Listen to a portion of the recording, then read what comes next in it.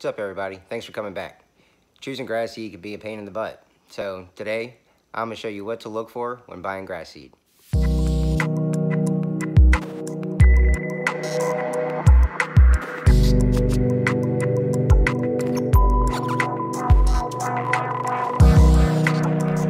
Hey guys, don't forget to subscribe, tap the bell so you get instant notifications on future videos, and always leave me a comment in the comment section. I always reply. Alright, so let's get right to it. I had to move it indoors today because uh, last week's episode with the humic acid with all the bugs was just absolutely insane, and I apologize for that, guys. I had no clue it was that bad until I was editing the video. So, this is my garage, or a corner of it, kind of like my little corner. Got some uh, starter fert right there, an old backpack blower, humic DG, Milorganite, bag of sod seed, my logo, RVA Lawn Love, and then this, sod seed turf grass, blue tag, always a good sign, certified weed free. You, anytime you see a seed mixture that has certi uh, blue tag certified seed like this, it's quality product.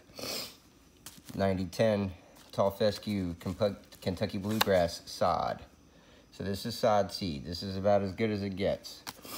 So we look on here. Now, when you're looking at the seed tag, the seed label, this is the most important part of your seed, okay? Don't just go buy something because you know the name of it, you know? Like my brother-in-law one time went to his whole yard in Kentucky 31 because that was the only grass name that he knew. So now he's stuck with a whole yard of Kentucky 31. So don't be that guy, all right? All right, so what you got here is it's going to tell you the manufacturer at the top, you know, and who's distributing it. Lot number of the seed that it came out of, so that if you have a problem with it, you can contact whoever the seed is from. They can look up the lot number, and if they have other uh, problems with that, they can let you know. Then listed under here is going to be your cultivars, or your uh, different types of grasses. So like I said, this is a 90-10 fescue bluegrass blend. So it has three different tall fescues and one Kentucky bluegrass in it. And here is how much the percentage of each seed is in the bag. So it's roughly 90% fescue, 10% bluegrass. So you got Extreme Green Tall Fescue, ATV 412 Tall Fescue, and Stetson 2 Tall Fescue. And the Shamrock Kentucky Bluegrass.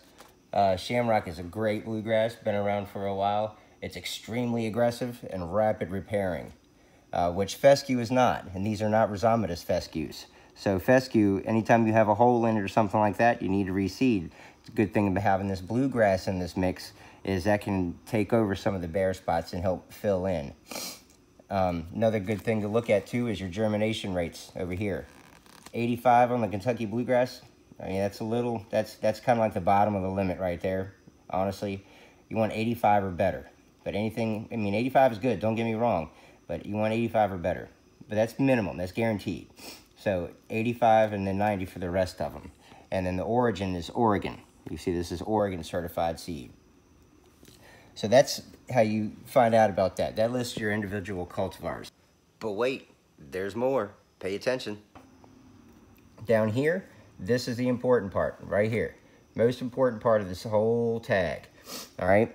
Now, I'll be honest when I used to go and buy seed, anytime I needed seed, the first thing I would look at is the noxious weeds per pound, which is right here. The thread's kind of going through it. You can't read, that's what it says. It's noxious weeds per pound. None found, okay? And I was thinking, hey, I'm, I'm, in, I'm in business now. I'm not going to have any dandelions. I'm not going to have any clover. I'm not going to have any crabgrass. But that's completely wrong because that is not what that is talking about. Noxious weeds are weeds, uh, every state has a different list of noxious weeds. For instance, Virginia has three tier one noxious weeds and five tier two noxious weeds. So eight altogether. And of all of them, I've only heard of one of them. And that's because they found it one time a month ago up in Spotsylvania County and it made this kid blister all over his face and he went blind or something. It's called giant hogweed. So, but those are the noxious weeds crabgrass and Dallas grass and Johnson grass and torpedo grass and uh, Poa annua, Poa trivialis, all those, everything that we try to get out of our yards year by year, that's all listed right up here in other crop seeds. I always thought other crop seeds, like I said, just being honest, when I was younger, I thought other crop seeds was other kinds of grass that just happened to made it into the bag. I didn't think it was like other weed seeds. They don't print it like that. It's they say other crop seeds.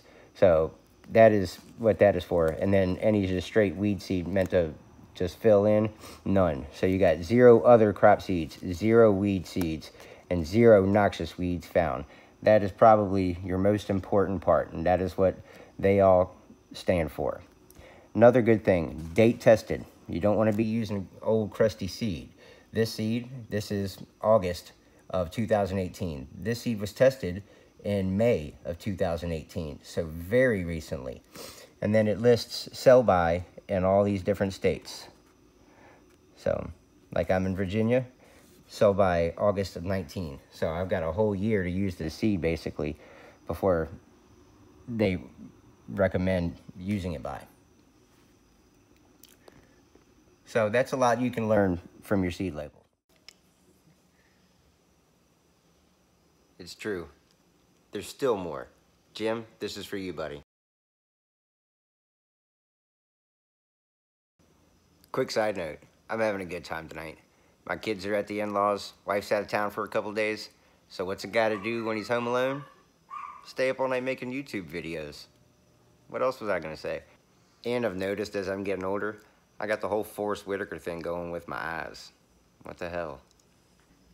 Alright, so last week after the humic video, I had a comment from a gentleman named Jim Banville saying that he's seen multiple videos on humic acid and its benefits, yet he's never seen like side-by-side -side results of humic. You know, like never seen somebody spray half their yard with humic for a year and leave the other half untreated for the year and show results every week side by side, I think is kind of what he's going for.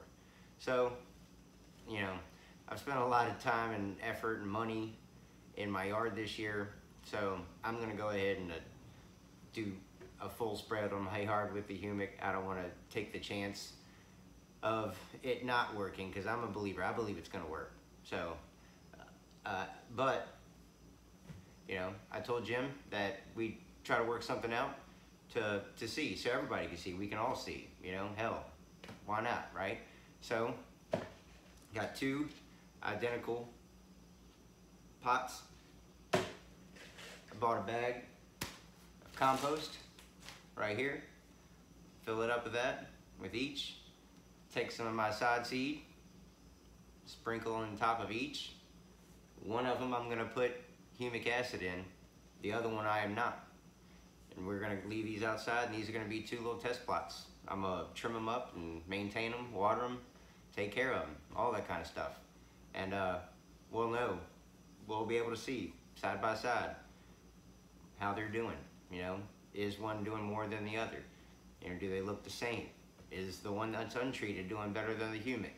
You know, we'll find out. So, like I said, real live test right here, right in front of us. So, hey, subscribe. Make sure you subscribe so you can see the updates on this. And uh, so, we're calling this Jim's test. So, Jim, I hope you're watching, buddy. This one's for you.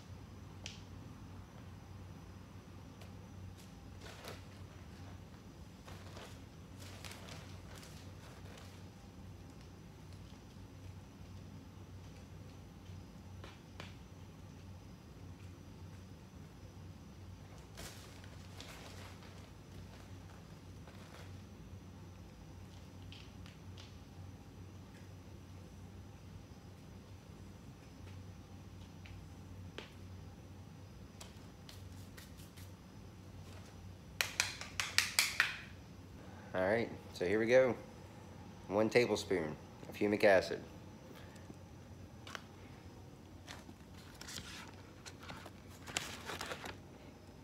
Uh, let me try to get the camera. It's the Humic DG.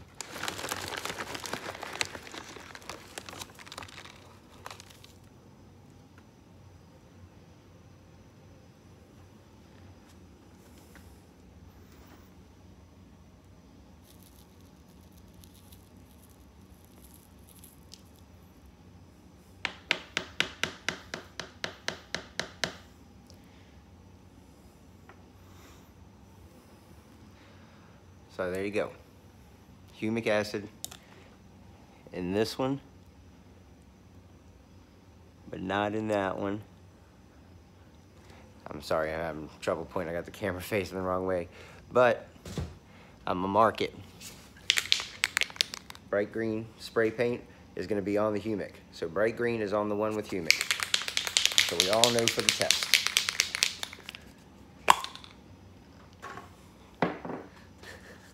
I'm struggling holding the selfie stick. All right, so this is the one that was right here. This is the humic. See it all in there.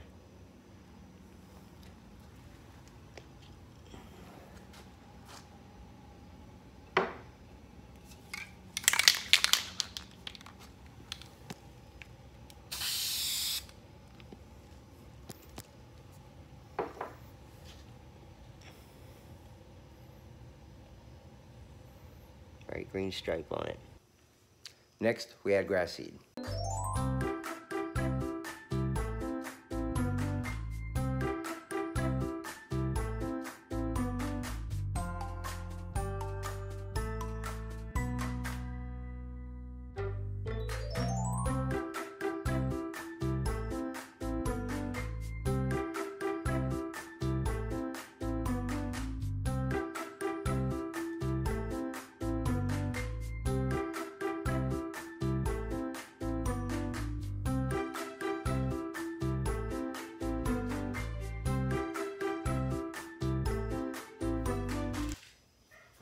There you go.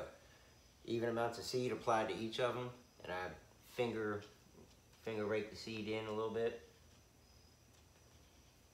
Then I'll give it a brief water, set it outside, and then we'll just check on it day by day. Alright, so there you go. I put equal amounts of seed in each of them. I finger raked them in, so to kind of simulate raking the seed in, get good seed to soil contact. So I'm just gonna throw some water on them and set them outside, and then we'll just monitor them and see how they do.